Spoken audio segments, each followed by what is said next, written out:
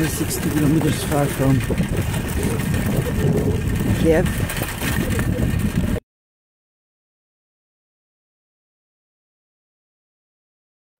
There is this abandoned building, which it's more abandoned buildings. And the strange thing is that the street is in good condition, but nobody drives here. 100 kilometers northwest of Chernobyl. Between here and Chernobyl there is just another village which is probably also abandoned and now the way to Kiev is with maybe five six more villages which may be abandoned as well. And this is another abandoned building which is not in so bad conditions. That's why it's probably abandoned because of the radioactivity.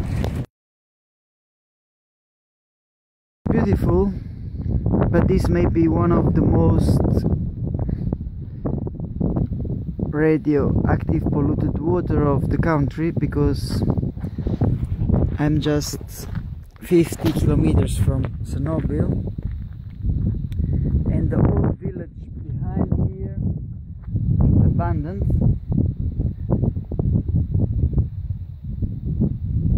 There was a checking point where there were military with a sign of radioactive pollution and Chernobyl it's right there. 50 kilometers. Kiev it's there. 100 kilometers 150 and I will get a bit closer to Chernobyl. And then heading south getting more far from it. The nature is nice but nothing to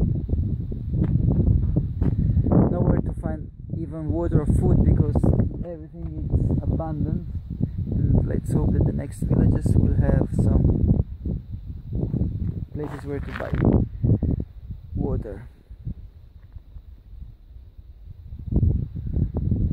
And strangely enough the street the road it's well asphalted here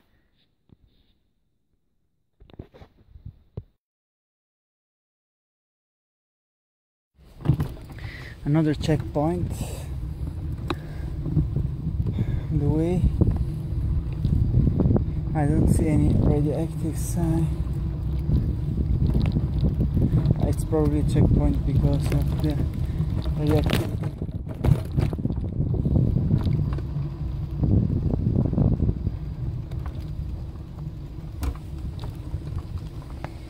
it. This one behind me was now probably the most affected area of radiation because there were two check-in points with the military.